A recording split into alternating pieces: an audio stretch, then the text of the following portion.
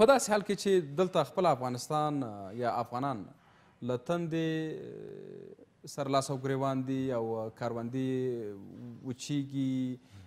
او نور ستاسو په خبره چې مواشي او نور حیوانات چې وبو ته ضرورت دي هم د دې وخت کې تلف کیږي چې انسان ته وبنه پیدا کیږي بیا بنو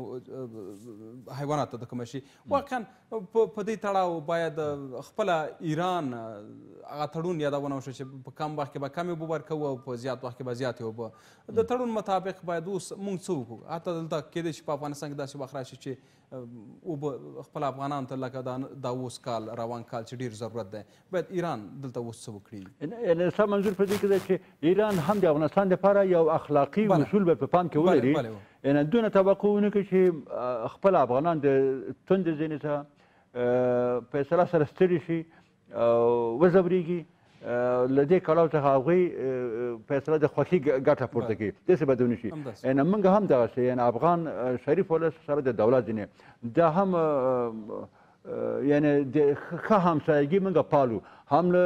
غربي ګاونډي سره هم له شمالي ګاونډیو سره هم له شرقي ګاونډي سره ان دا د افغانانو هغه اخلاقي اصول او تلقیناتي اصول سایکولوژیکي حالت موږ فرهنګي حالت موږ هم داسې دی چې موږ همسایګان تل مدام په دواړه سترګه باندې کتلي دي او له هغوی نه هم نه توقع کوو هم هغوی موږ ته داسې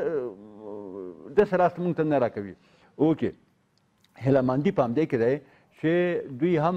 هغه توقع وکړي چې زموږ د لاس نه پوره ووسي یو خبره ښاغلی استاد تر ډېره په ولایت کې تاسو ګرځېدلي یاستئ د اوبو یا د سیند ترڅنګ به هم تقریبا یو څو کیلومتر لرې زمونږ ځمکې شاړې وي او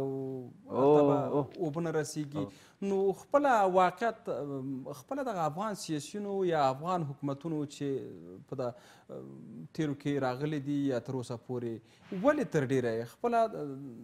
داخل یا داخلي تولیدات لکه زراعتي تولیدات دی فکر نه دی کړی یو خپل افغانان خو دومره نه ظرفیت نه ورسره کوم ماشینالات شته چې دغه اوبه خپل لوړو ځایونو ته ورسوي نو ولې افغان حکومت دې کار ته داسې توجه نه کړې داخلي کشمکشونو یا بهرنیو ستونزو